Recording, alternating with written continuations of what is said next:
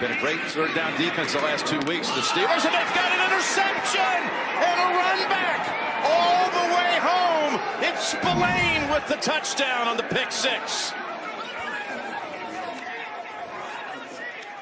Wow, what a start.